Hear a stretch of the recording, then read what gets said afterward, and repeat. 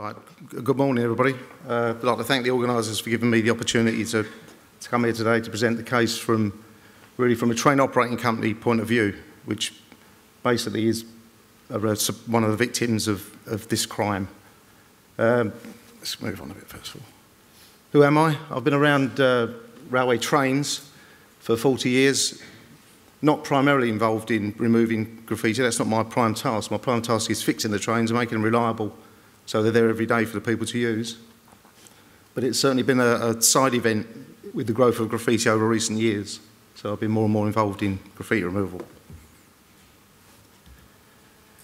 Okay, first of all, I mean, I was, it was very interesting to hear uh, the previous, not the previous gentleman on the stage, but Ben's presentation, his our presentation on his view of the, the, the crime or not crime of graffiti and the people who do it. Clearly, uh, I've just done a definition of the two, of artist and vandalism. And what I'm dealing with is clearly vandalism on railway trains and the cost of vandalism on railway trains, not artists by definition. An example, easy to repair. I mean, it was mentioned by Ben that this stuff is easy to repair. I heard by the gentleman earlier that we have protective films on trains. This is a, a myth. It's not on all trains.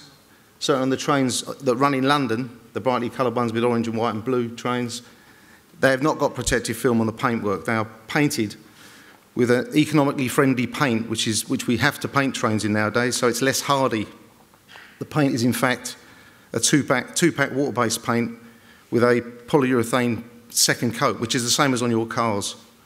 Certainly the windows have got a protective film on to prevent window etching, etching the glass, because an example, just an example, and I'll get further in detail about costs. If a door, one of those orange doors are etched on a window pane on one of the London trains, the cost of that door is £4,000 to us as a train company. And I know you said it seems unbelievable, it's £4,000. Because we are a, a, train company that has a contract with TfL to fix these trains under, under an obligation. And I'd like to sort of pause to give an example, really. I, and this will ring true to you more than, than trains and damage. I mean, I hired a car in France, a little Volkswagen Golf, and uh, when I took it back, it had a real minor scratch. I mean, like a, a zip scratch on the driver's side door. And because they had my credit card details, I said, look, there's a little scratch on the door on the, on the driver's side. The, the person came out from the French office and said, oh, it's nothing, don't worry about it. When I got the bill, it's 350 euros for that scratch. Now that's, that's in reality, when you hire a car and you give the car back, you've got any damage on that car, you'll find out how much damage costs to repair. And that's very similar to the trains. With the trains, as a train operating company, we actually lease the trains from a train owner company, a ROSCO they're called. And we're obliged to maintain those trains and keep those trains in the condition that we rent them in. So they're on hire to us. So when either we do the damage now or when we go to hand those trains back, they discount whatever we owe by the damage. They evaluate the damage on that train. Additional costs to that, I mean, I'll, I'll, go a bit more in detail in that. I know I've got a 15 minute slot and I could talk for hours on how much damage we get on trains, but it'll give you a, a, an insight into what this, this actually does cost. We have initial removal prices. Now, the London Train Operating Company is actually bound by a contract. It's a contract till 2022 to remove graffiti under a guideline from TfL within 24 hours. So we have to get it off. If we do not get it off, we have to pay £500 a day for every single daub of graffiti on the train. What for a single window of etch, so even if it's the film, if it's, if it's a panel etch, it's £100 a day. And we pay those if we don't get it off. The reason you see that the London trains, I would say, reasonable for their condition is because we're paying a lot of money to get it removed so we don't incur the fines that are, that are posed on, on us by contract. So for removing the graffiti, we don't, as a train operating company, remove the graffiti. That is bound by this contract that we're tied into. And the cost for removing exterior paint graffiti from a train is £150 per square metre. Now, you may gasp and say, and I'm certainly what Ben said earlier about the price of a can of paint, I know how much a can of paint costs.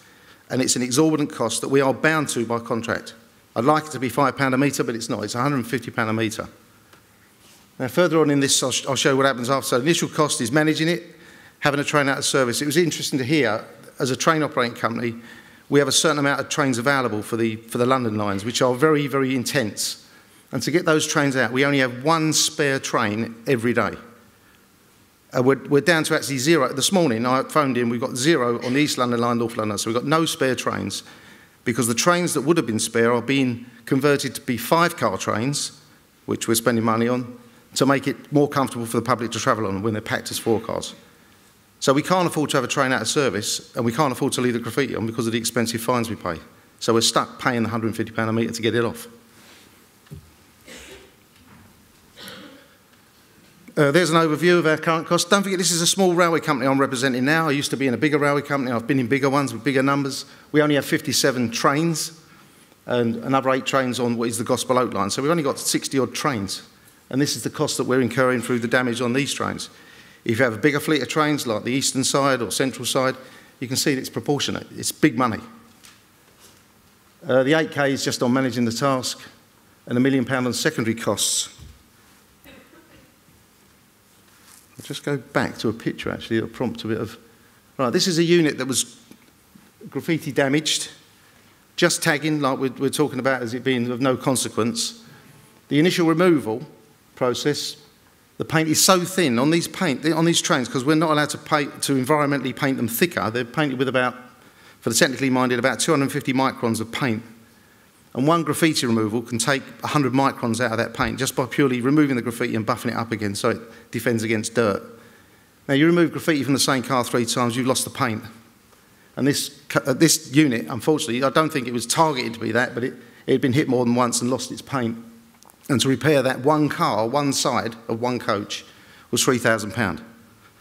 So we'd already incurred £2,000 removing the graffiti a few months before. We then deferred doing the, the repair work to the paint, which we're obliged to do, because if we don't do it now, we'll pay it later, and inflate, uh, inflated costs when we hand the unit back at the end of our concession, which for this company is only about 18 months, and all that costs to get rounded up. So it's expensive. And if we have a unit not available for service because we've held it out to do this job, that incurs a penalty as well. So you can slowly see that the profit that are in, in, in a railway company for a small operator, not government for a small operator, slowly gets eroded away and puts pressure on everything. It puts pressure on me recruiting staff, it puts pressure on... It, it takes money away from where I can use the money more usefully, in making the trains nicer. Fast forward. Customer expectation, yeah, it is a bit of an unknown fact. How do you put a price on? And I understand what, what the uh, guys that have carried out this, at what effect does having a dirty train have on... I really am not a scientist on knowing the effect on the customer, but I know customers on the whole I speak to like a nice environment of anything. They like the toilets in this building. They stink. The toilets in this building smell. If I was in charge of toilets, I'd clean them up and make them smell nicer. It may not be an issue, but for me, it affects me. I'm a customer of those toilets. Fix it. When I'm on the trains, if they've got graffiti, someone's going to come to me and say, I don't like my train graffiti. Fix it. Unfortunately, I'm bound not by, by whether I think it should be or not be, by a contract that says I have to. And if I don't do it now, I'll have to do it later. In fact, on Southeastern, when the, that was the first company, it was carved up as a private enterprise that went out to a, a, French company called Connex that have long gone now because it was just too expensive. Part of the damage for Connex's finances were they were declaring right or wrong about £5 million per annum profit. Like any new company starting out, profit margins were low. Like revenue was high, profit margin low. When they handed the trains back naively, they adopted all the damage that the trains had on graffiti and graffiti removal. It's £8 million.